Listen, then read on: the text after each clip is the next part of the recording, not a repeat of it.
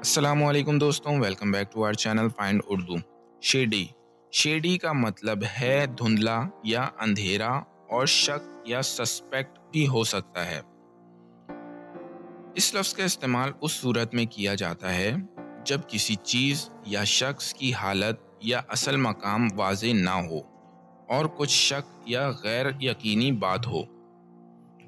The alley behind the building look shady building के पीछे वाली गली शेडी नज़र आई।